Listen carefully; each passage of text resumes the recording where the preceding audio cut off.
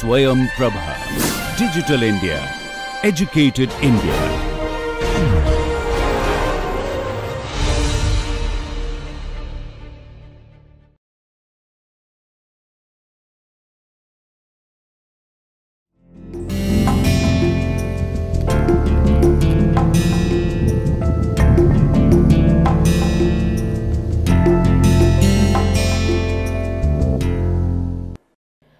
Welcome dear learners to the another session of International Business Management. I am Dr. Manisha Goswami, Assistant Professor at Institute of Business Management, GLA University, Mathura. Today we are going to talk about the international institutions and agreement in lecture number 7. Before we start with lecture number 7, let's quickly review what we did in our previous lecture.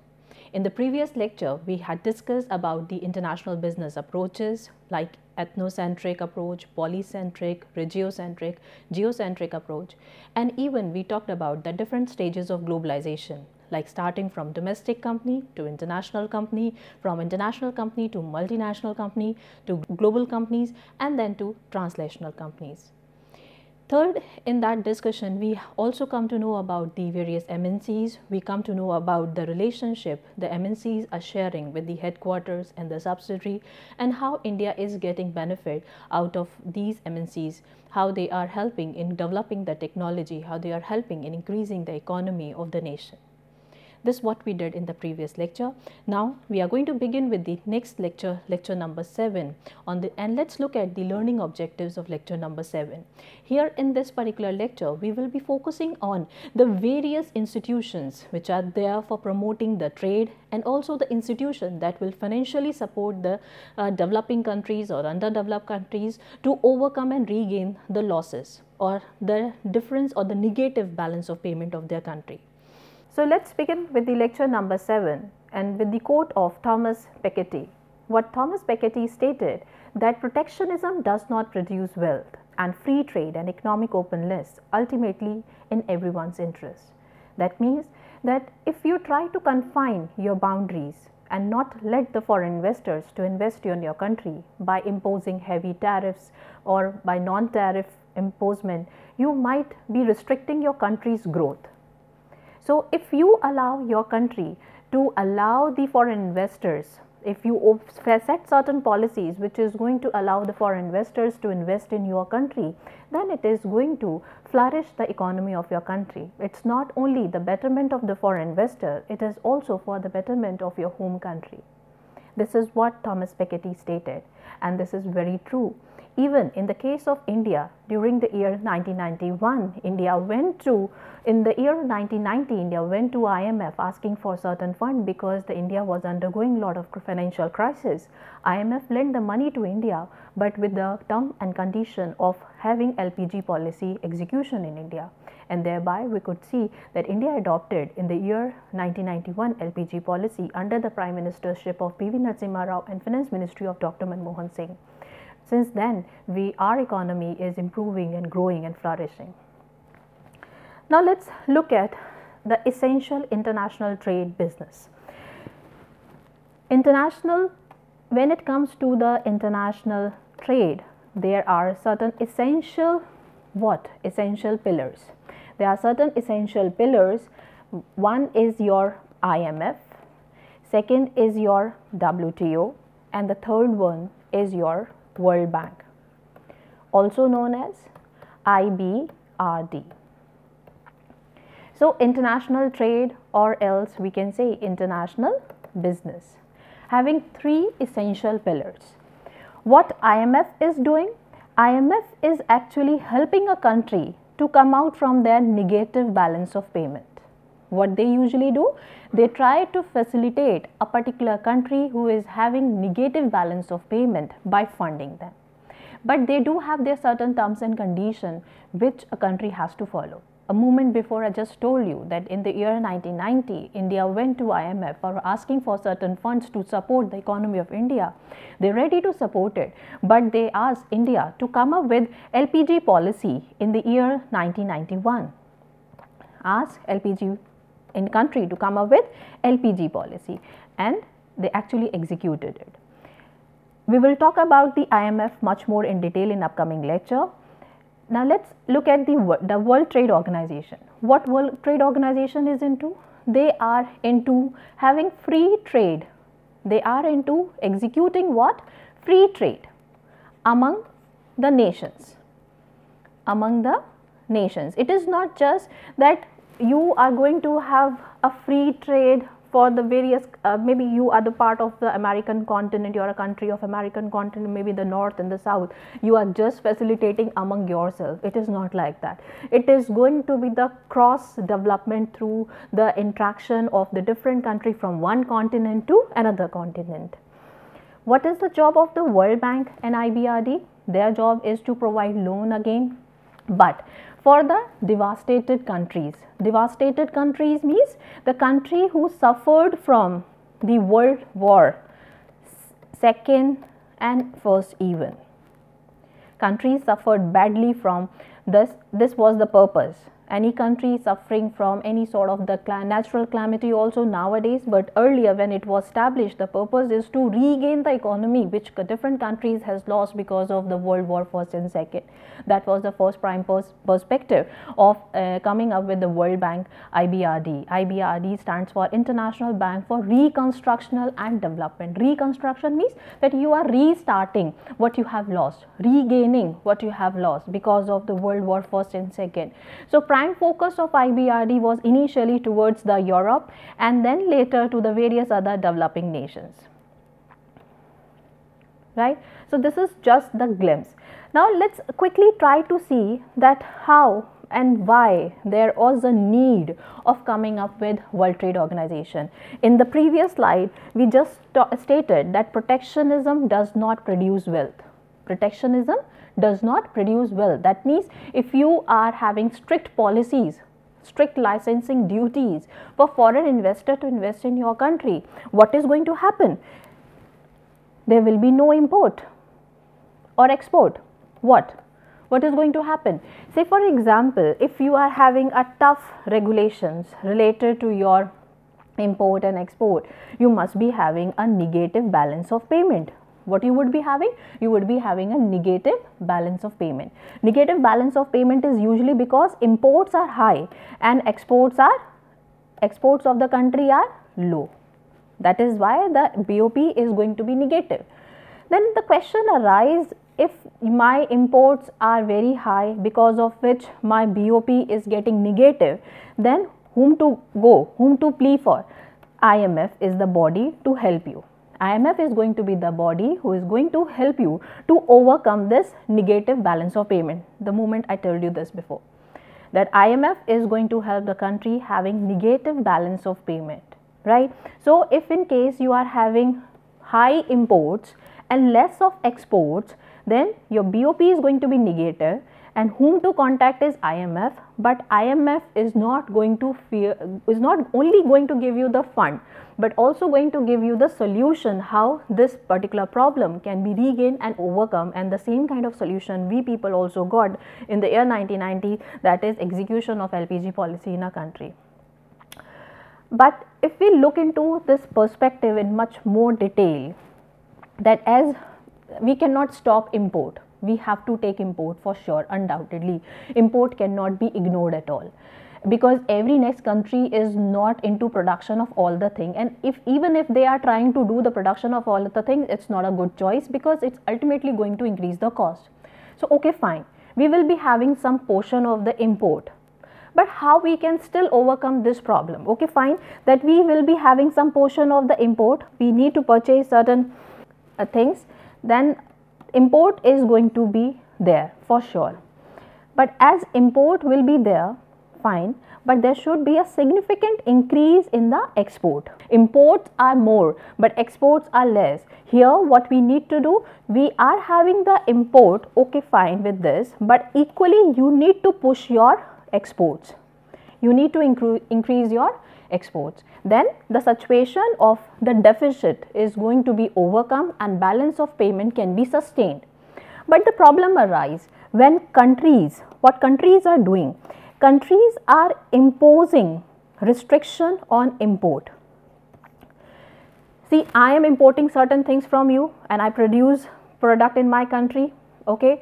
and now I am going to be the exporter of the finished good to your country and you have imposed duty on it. And because of your heavy duty I couldn't export my commodity or goods and services to your country. Because of which what is happening?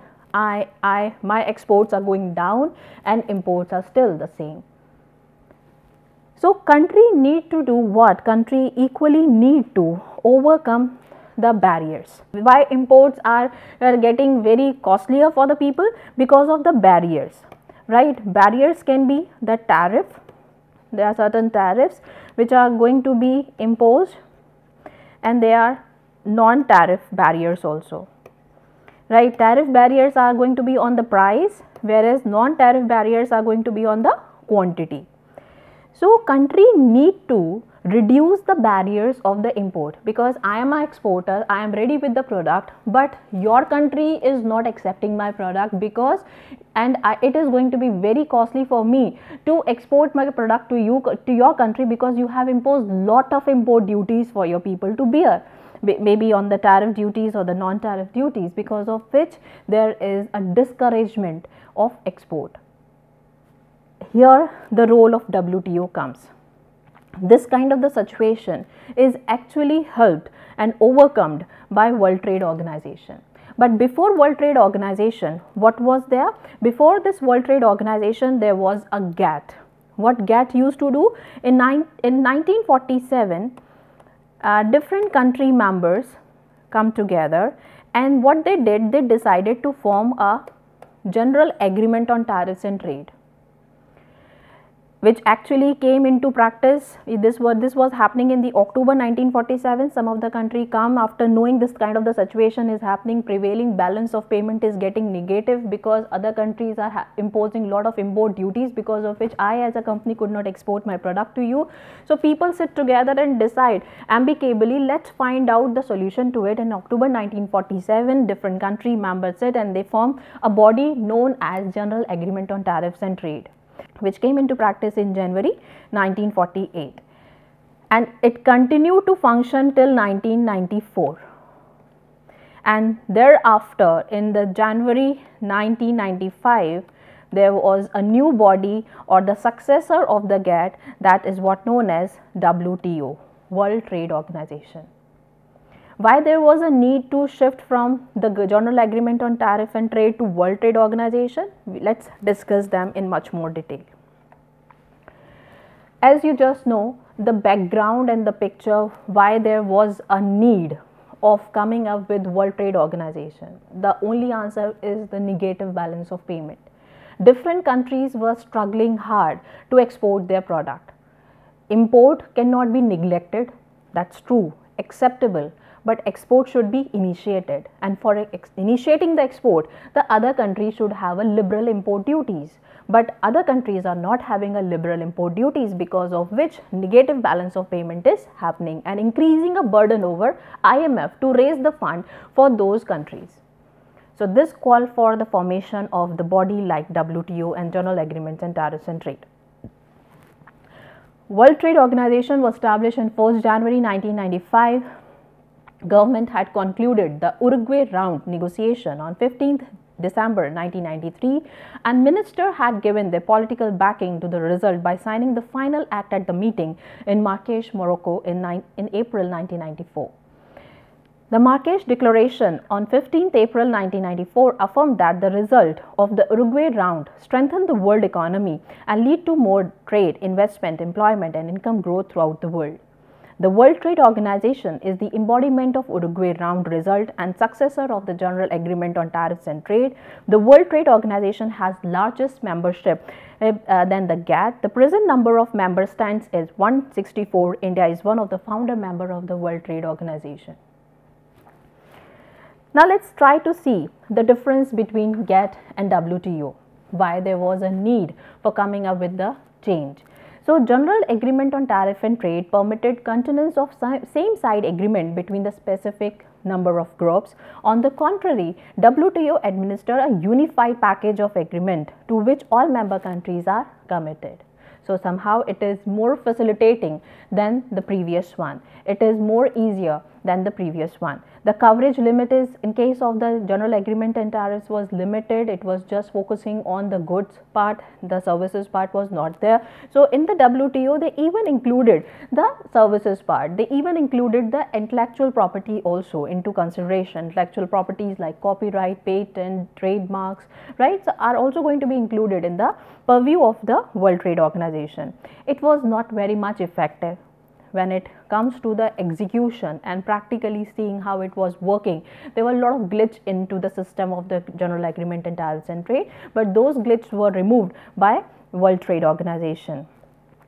Gray areas measure are outside its purview of the general agreement and tariffs, but here in the case of WTO, even the gray areas were taken into consideration like textile, clothing, agriculture were also become a very essential part of the WTO for enhancing the economy of the world membership was not so large of the general agreement and tariff and trade where in case of WTO where each almost each and every country is excited to be the part of WTO because they are going to get the most favored nation uh, most uh, favored nation status after becoming a member of WTO.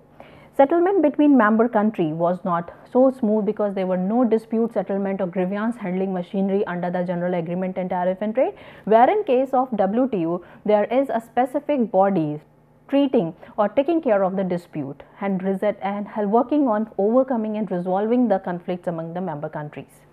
Now let's look at the structure and with this structure it will become more clearer that different areas where WTO is predominantly working.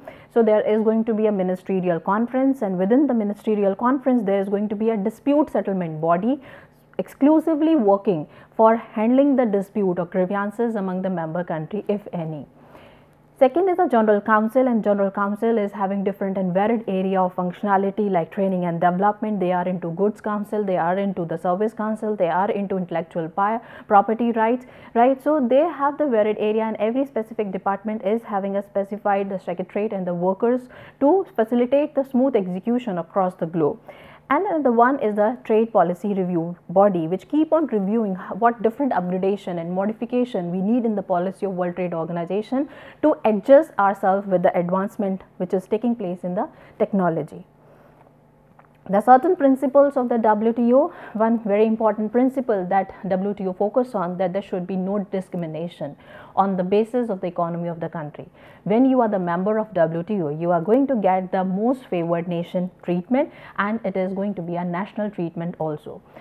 It's not going to be on the basis of the status of your economy, it's not on the on the basis of the level of your economy, maybe the developed, developing or underdeveloped, but you are the member of WTO. There will be a free flow of business with you even reciprocity is there that means that you are going to be reciprocal to what you are doing for the other nation. Another nation has to reciprocate what they you did right? That is this is going to be a mutual agreement between the various member nations of the WTO market access is going to be easier now with the advent of the WTO and the, you become a member of a WTO then there's going to be a whole globe as a single market for you. Your market access become easier and there will be a fair competition which will further motivate you to get into international trading and international business in order to reduce your negative balance of payment which actually helped India earlier. The India was was borrowing a lot of money from IMF now uh, India become a contributor to IMF in the recent year. Now let's look at the objective of the WTO. Objective of the WTO predominantly revolve around what? Promoting trade flow by encouraging nations to adopt non-discriminatory and predictable trade policy. That means there should be no discrimination on the basis of the country economic status. Every country should be given equal and equal and uh, equal opportunity to do trading with you if they have the substantial amount of quantity or the quality standards match with your country standards, then there should be a trading with each other raising standard of living, income, promoting full employment, expanding production and trade and optimum utilization of world resource start taking place because of this World Trade Organization. Because World Trade Organization asked the country to remove the barriers and once they start removing the barriers, different country resources become a open market resource for the different people to make use of and with the with this kind of approach, the left out resources or the resources which were not touched have been started taking care of, people start making making use of it. Eventually what start happening it start generating the employment. And once the employment start generating the income level of people also start improving.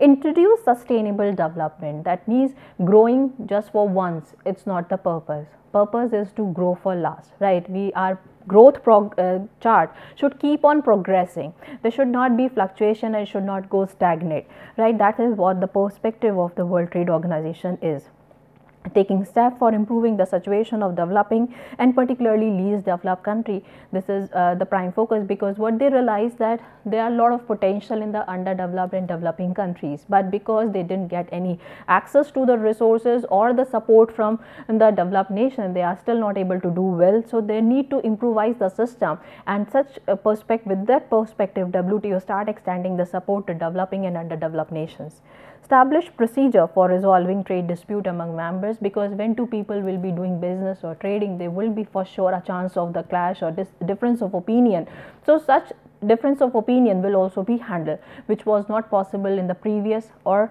the precedent of WTO that is GATT. Now uh, there is another very important body which was formed in along with the collaboration of WTO that is UNCTAD.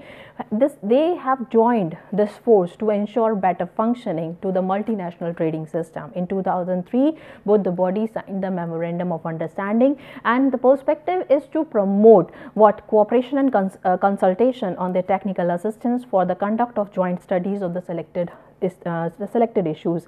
Like this uh, start interacting very frequently and they start doing trade and they start finding which particular country need more support right? Apart from that uh, it's not just the WTO who is into there is another body of the WTO like UNCTAD equally helping and supporting the growth and free trade across the globe so UNCTAD stands for United Nations Conference on Trade and Development, support developing countries to access the benefit of a globalized economy more fairly and effectively and help them to deal with the potential economic integration. To do this, UNCTAD provide analysis, facilitate consensus building and offer technical assistance. This helps them to use trade, investment, finance, technology as vehicle for inclusive and sustainable development.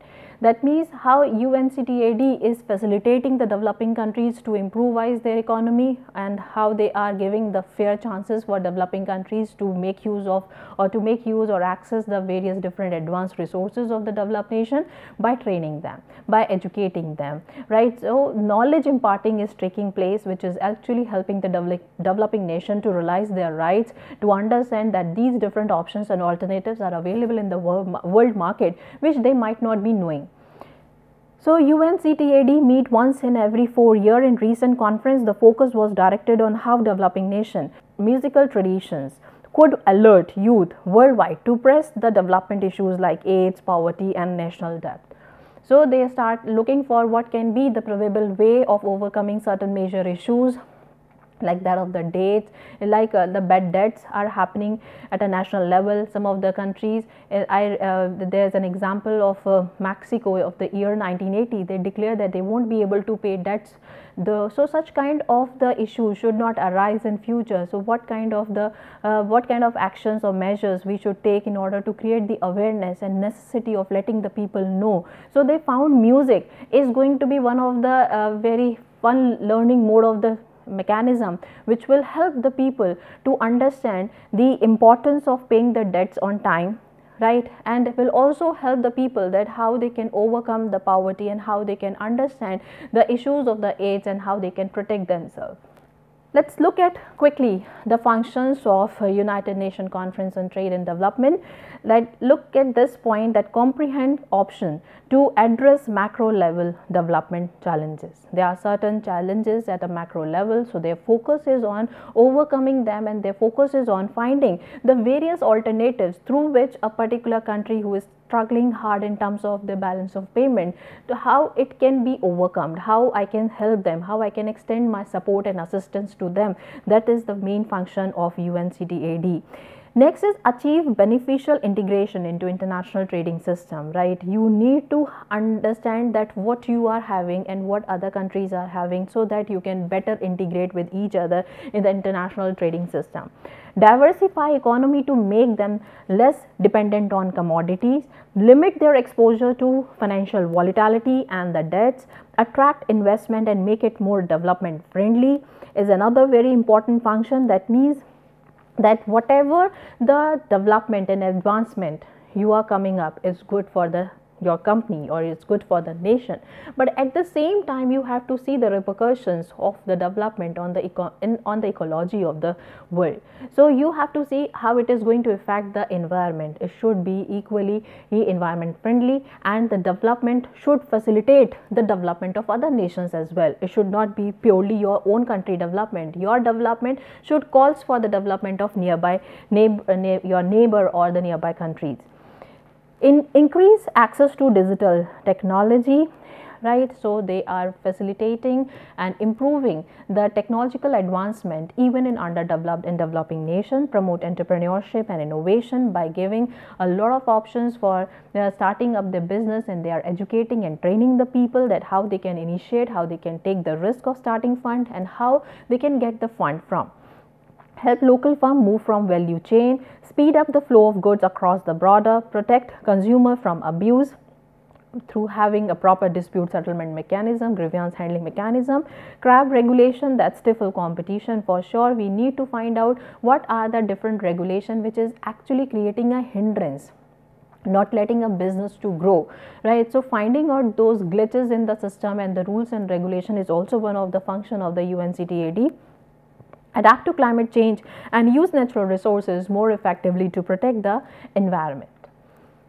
Another body which was there for protecting the preferential sharing system that is a generalized system of preference is again a part of the world trade organization they come up with various bodies and this is another example of the body which is coming up by the wto and the general generalized system of preference is the kind of a trading which is going to take place between developing countries and the developed countries right? Here what is going to happen? In this generalized system of preference there are going to be a trading between developing and the developed nation right? So let's look at us trade preference programs such as generalized system of preference provide opportunity for many world poorest country to use trade to grow their economy and climb out their poverty GSP is the largest with 15 member country and oldest. 15 member countries are uh, very uh, like uh, Australia is a member country of it, Belarus, Canada is a member country of it, one of the Iceland, European Union, Japan, Kazakhstan, right? Even the UK, United Kingdom, New Zealand, Norway, Russia, Switzerland and USA, these are the different country members of uh, GSP and it is one of the oldest US trade preference program established by Trade Act 1974. GSP promote economic development by eliminating duties on thousands of products and when promote import and they are promoting what import of uh, 119 designated beneficiary countries and the territories across the globe.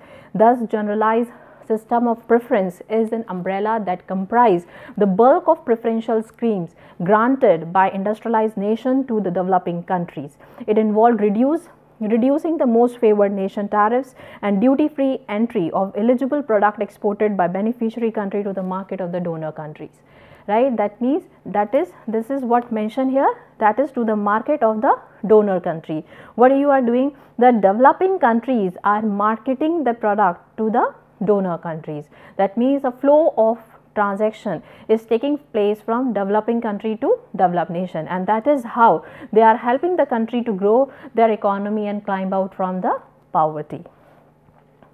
Another uh, type of uh, the preference system is GSTP, Generalized system of trading and preference that, that that's a global system of trade preference among the developing country. It's a preferential trade agreement. Now this kind of the preference is taking place only between developing nations. This this is this trading is only possible between developing nation.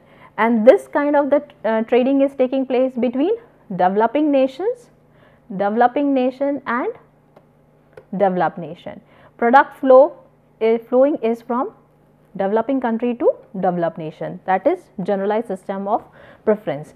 But another system which later been formed so that your country growth should also facilitate the nearby neighboring country or the developing country growth. So, they come up with a good system of trade preference among developing country. That is the difference between GSP and GSTP.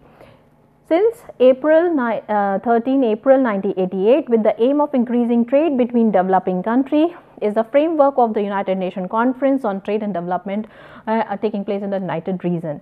The coverage of uh, GSTP extends to the tariff, para tariff. Para tariff is an additional tariff, non-tariffs are on the quantity, this is on the price. The direct trade measure including medium and long term contract and sectoral growth, these are the area of coverage of the GSTP. Now, another uh, international commodity agreement which is coming under the umbrella of WTO itself and the purpose again is to facilitate trade among different nations because alone WTO couldn't do by and large because it's a by and large body and there has to be some small small bodies across the globe so that they can see the executional problem and can find out the intermediate solutions and promote trade among the different level of the uh, countries. So, international commodity agreement is an undertaking by a group of countries to stabilize the trade, supply and policy of the commodity. An agreement usually involve a consensus of quantity traded price in the stock market. International commodity agreement have been applied to commodities like tin, cocoa, coffee, sugar and wheat and such kind of the products are usually coming from Africa right. So, there are focusing more on on the export of the uh, minerals or the products you are rich in so that your economy can grow and flourish and deciding on acceptable range of price and output. And this is uh, this have the this particular international commodity agreement is having autonomy to decide on the price.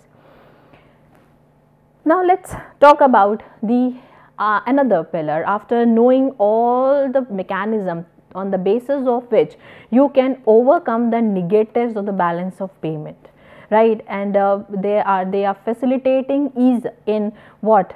Export right? By asking the different countries to reduce and lower lower their import duties. By reducing their import duties and work on uh, facilitating more of more export.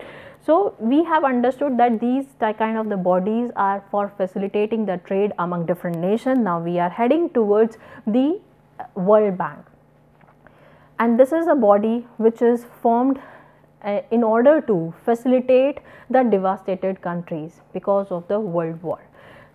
Right so let's look at the world bank how it actually came into being. Let's have a fair understanding of it. Let's look at the function of the world bank which will make you understand that uh, how uh, different countries are getting benefited because of the formation of this world bank and imf so, International Bank for Reconstruction and Development IBRD, commonly known as World Bank, was a result of Bretton Woods Conference.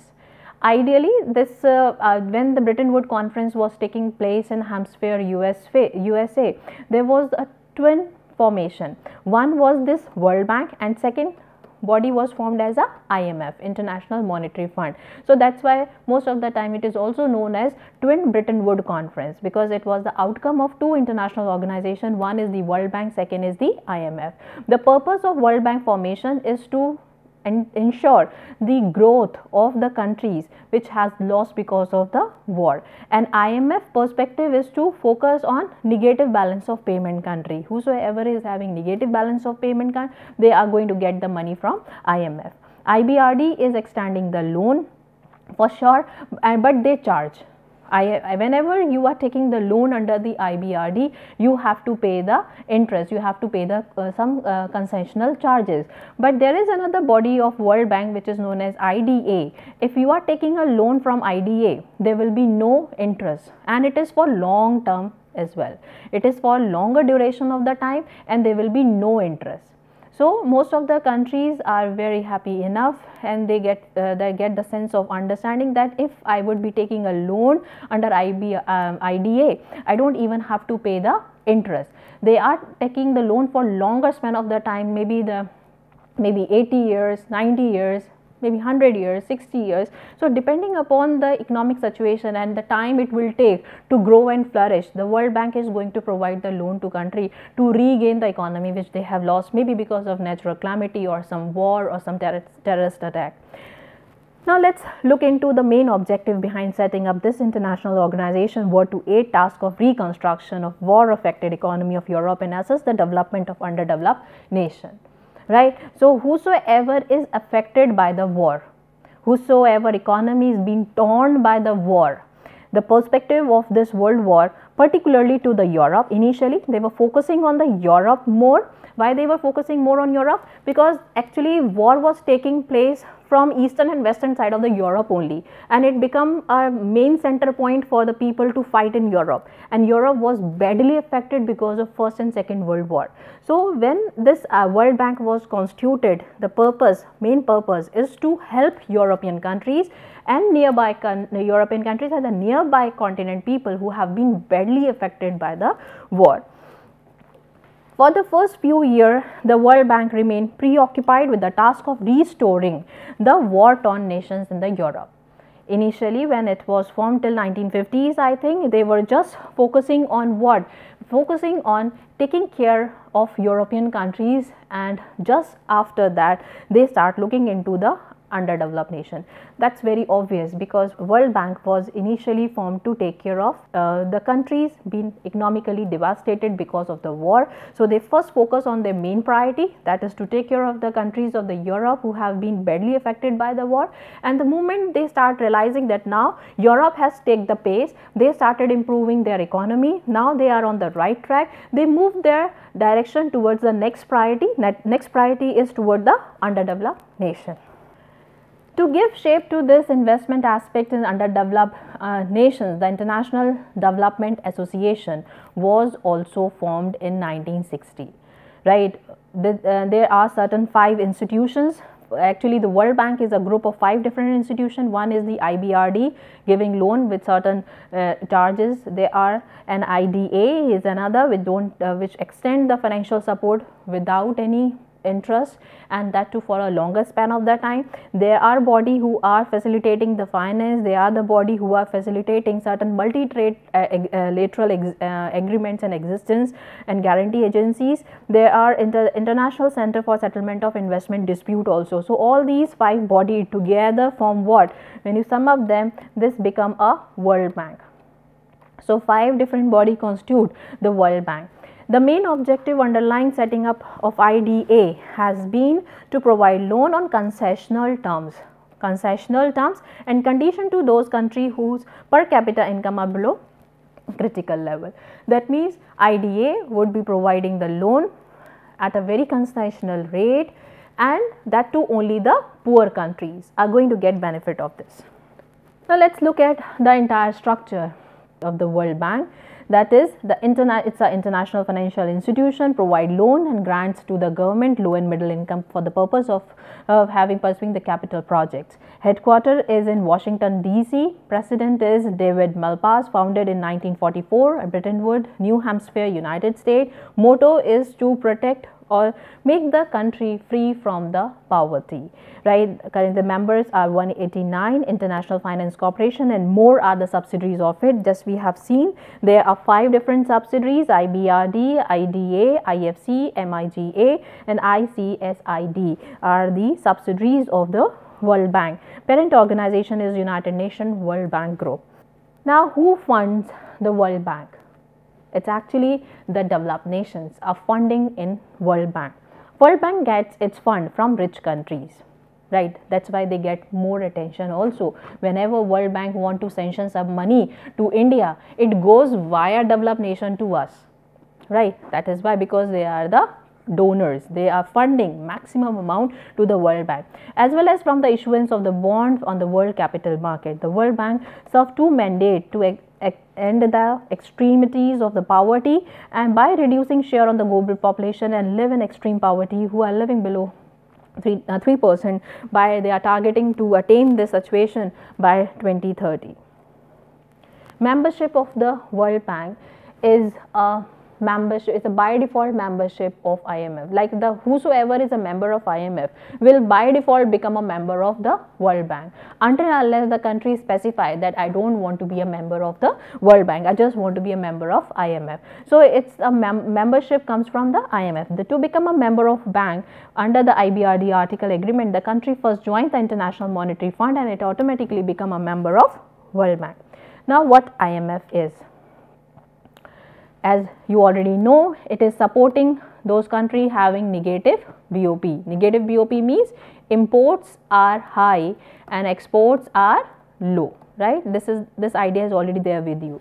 So imf is the second international organization. Why it is a second international organization? Because first one is the world bank. Pehla international organization kaun sa bana tha? This is the world bank which was formed in uh, during that Bretton Woods conference. So, this was the first international organization and IMF becomes the second international organization. It is the organization of 190 countries working to foster global monetary cooperation, secure financial stability, facilitate international trade, promote high employment, sustainable economic growth and its another is to reduce the poverty. For sure, if they would be helping country uh, financially and uh, the country start getting the fund and start reconstructing the economy, start investing in the market, for sure the people start getting the jobs, people start earning money and eventually the poverty will be checked upon. The IMF is the most detailed attempt to organize the conduct of International Monetary Fund. Now let's look at the objectives of the IMF international monetary cooperation. That means the perspective is to cooperate the with various different nations who are having negative balance of payment who are, are not able to find the solution to overcome this vicious cycle of uh, maximum import and low of export. So they try to facilitate the monetary support with certain terms and condition and let the people and even assist the people that this can be the solution to your economy. This can be the solution but there are certain criticism that people used to say that they have only one solution for all the different nations. They don't make their, their uh, close assessment of the economy of different nations. So that is a criticism usually come from the critics but by and large what IMF is doing, IMF is trying to provide uh, assistance to the member nation and letting the people know that okay fine we are lending money to you but you have to imply or you have to execute this solution into your country which will help you to further uh, regain the economy which you have lost. And this what happened in case of case in our country 1991 we adopted the liberalization privatization and globalization policy to facilitate expansion and balance growth of international trade, to promote exchange stability, higher employment and income, exchange restriction to be reduced, right? That has to be reduced. Otherwise, there will be no facilitation of export. So, you have to facilitate that there should be more of exchange taking place. Aid to member during the emergency aid to shorten the duration and less degree of disequilibrium in the international payment of uh, international payment of the member country that was the prime focus of IMF. Let's look at the structure, how it is actually functioning. There are the member countries of the IMF at the top. Then there is going to be the board of governors. These are the representatives coming from the member countries, and then there are executive body who is who is becoming a part of uh, the IMF through uh, the selection, and managing director is on the basis of the voting, and their job is going to be taken. Uh, as, uh, there are certain assessors of the managing director. The first deputy, they are going to be the additional deputy, and they are going to be the joint deputy to assist the managing director in terms of execution of proper uh, su supply of the fund to the devastated country. Now, how you can become a member of IMF? There are two type of the member of IMF. One is the original member, second one is the ordinary member. Original members are those who become a part of IMF during the Bretton Woods conference itself and we Indians are the original members of IMF. We agreed upon all the terms and conditions during uh, that Bretton Woods conference right which was taking place in the year 1994 1944 so original member, those country who represent to, representative took part in Bretton Woods conference and who agreed to be the member of the fund prior 19 uh, uh, that is uh, uh before its formation 31st December 1945 that is 1944. Ordinary members are those who become a member of IMF subsequently. IMF is holding a authority to make you a member or to suspend your membership at any point of time if you are not adhering to the conditions or the le lessons or the learning imf is trying to impart on the basis of the fund they have given to you right if you are not adhering to it if you are not following the terms and condition you may your membership may be suspended. Now what are the sources of the fund of the imf they will be getting the fund from the quota system quota is allocated to the various member. Now what is quota? That it's a, like a subscription amount every member country has to pay to the imf and depending upon the economy of the nation right your quota is going to be fixed. If you are underdeveloped nation your quota is going to be small. If you are developing is going to be comparatively high. When you are a developed nation it is going to be more. And if your quota subscription amount is high what is going to happen? You have you will be having more voting rights.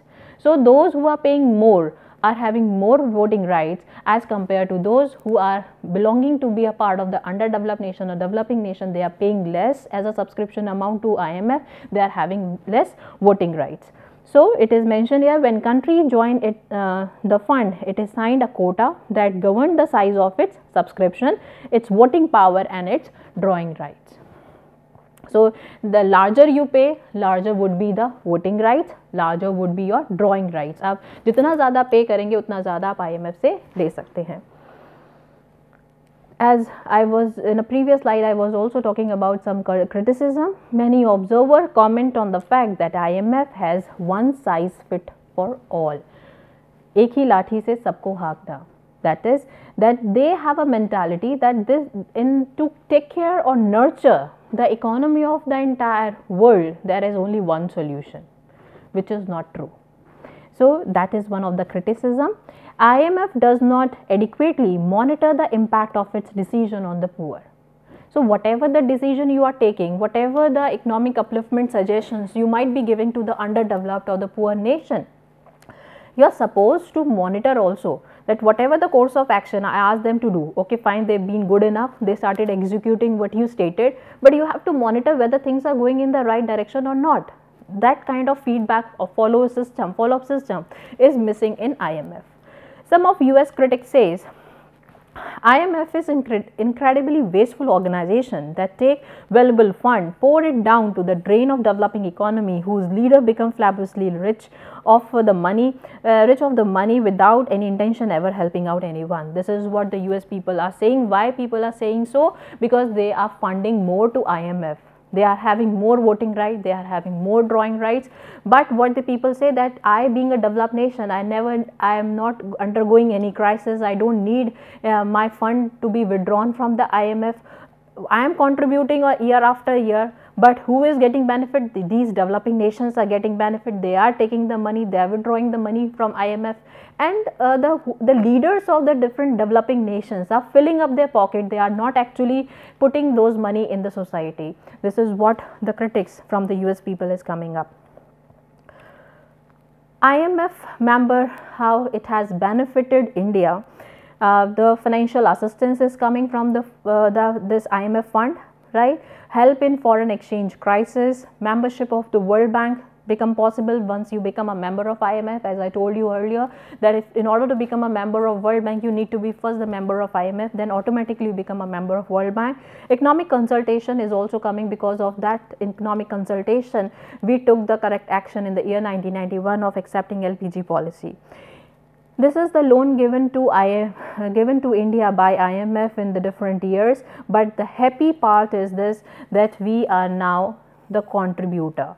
In the year 2000, the loan taken up from International Monetary Fund has been completed. India is now the contributor to IMF. That is a good part. Because of the economic consultation we received from IMF, we executed it and the situation improved and what eventually happened, we able to repay off all the loan which we took from IMF and now we become a significant contributor to IMF.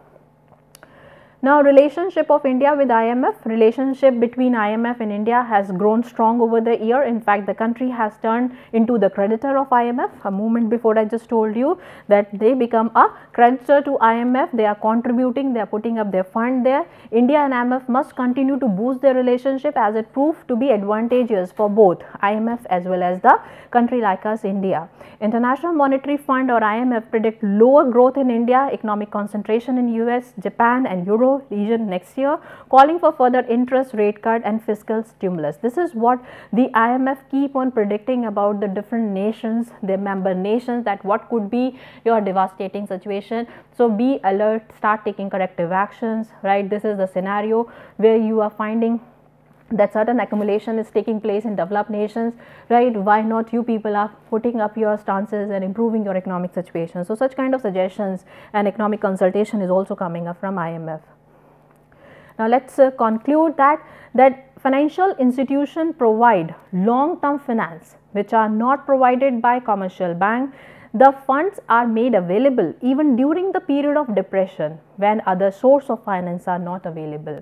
Obtaining law, loan from financial institution increase the goodwill of the borrowing in the capital market right so somehow what we observe that the, the presence of financial institution is very important. Why? Because it's not only that they are going to fund you the money, it's also that they are going to facilitate you with some consultation. They are going to update you with some ideas and those ideas are going to be proved so significant for your country to grow and flourish right? There are various countries who can you can take an example of have been suffering very badly but now they are improving on their economic status. You take an example of the greece right? Greece greece what greece was undergoing through they are undergoing through economic crisis. Various european investors and the private investors invested around 320 they invested 320 billion euros in the greece to overcome the economic crisis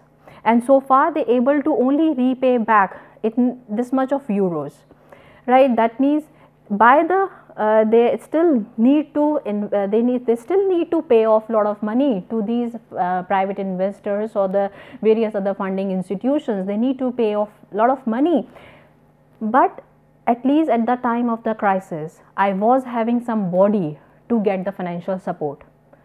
Greece was totally declared as a bankrupt but still different nations, different investors, financial institutions are coming together to nurture and support and provide the custodial support to the Greece economy to regain the lost economy. For this, I think like uh, the Greece is a very good example, Venezuela is a very good example and during the 2008 crisis in America, again the World Bank came into picture and helped America to overcome such a devastating uh, situation, economic crisis. And because of the crisis in America, even India also suffered from loss of loss, a lot of slowdown in India during the year 2008. So, taking care of economy, nurturing the economy of different nations it's a good idea but there has to have certain support system also and such kind of in uh, financial institutions are actually extending their support to nurture and support the economy of different nations without any discrimination on the basis of your economic status. Let's quickly review the different topics that we had discussed today. Today we talked about World Trade Organization, we talked about United Nations Conference on Trade and Development, we talked about international commodity agreements, generalized system of preference, we talked about goods and service trade practice preferences, we even talked about the World Bank and IMF.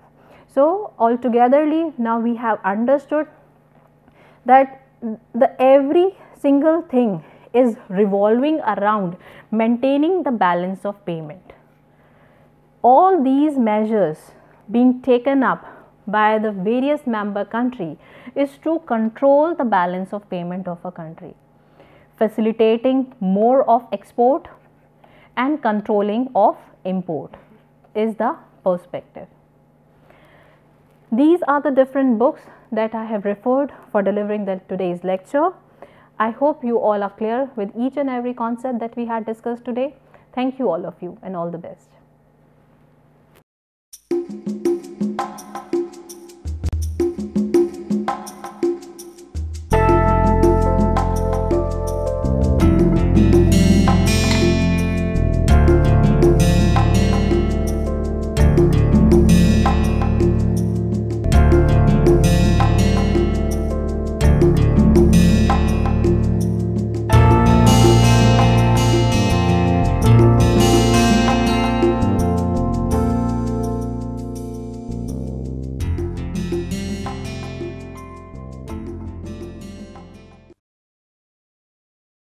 Hello, I am A.K. Sharma and I teach sociology in IIT Kanpur. Uh, I am trying to answer a simple question, how sociologists explain their facts. As you know that uh, sociology was developed as a subject dealing with human behavior, but which would use the tools and techniques of science, mathematics, physics, chemist, chemistry.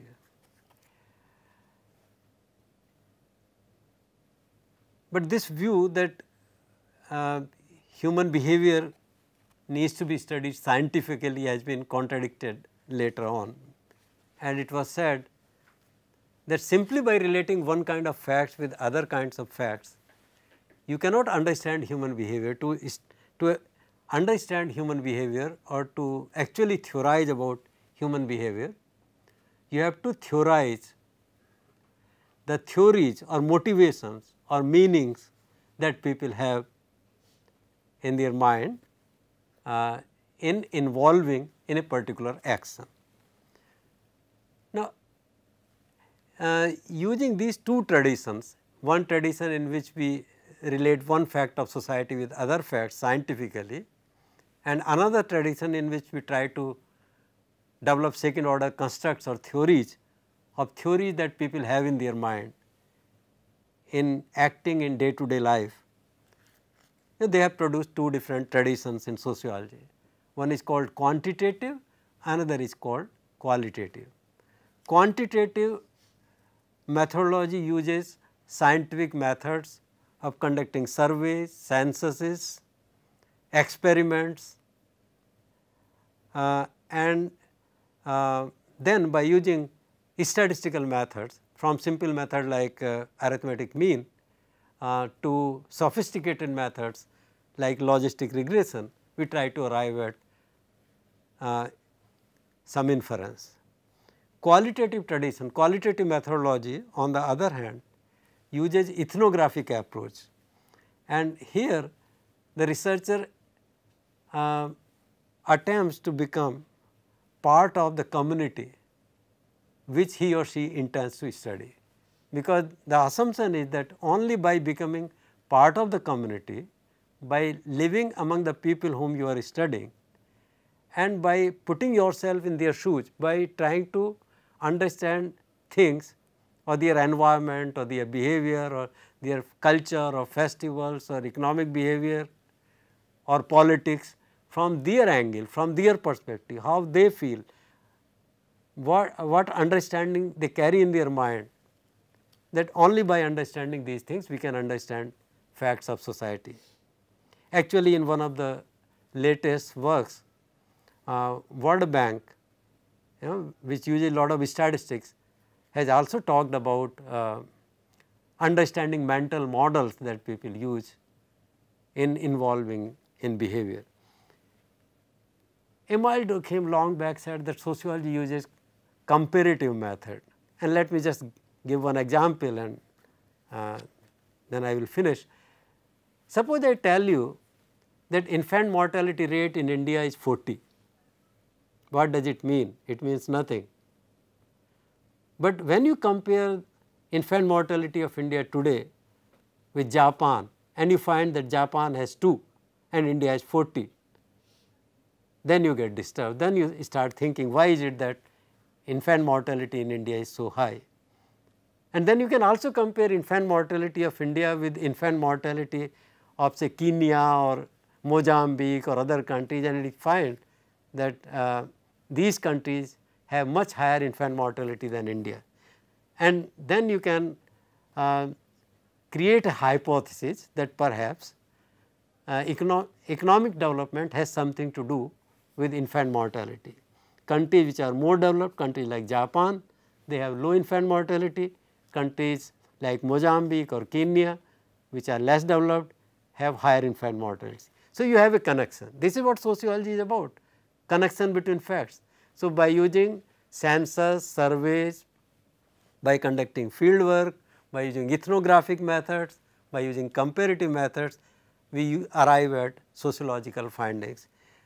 Use of experimental method in sociology has been very less, uh, but I learned that recently economists which I 10 years ago I could not uh, uh, see that economists will one day use experimental method, but today we find that economists are using lot of experimental methods to study human behavior. Now, this work may be done by economists, but the findings of their study can very well be called sociological studies. So, sociology tomorrow, uh, uh, I, uh, I think that sociology tomorrow in addition to uh, using surveys and comparative methods will also be using experimental methods. Thank you.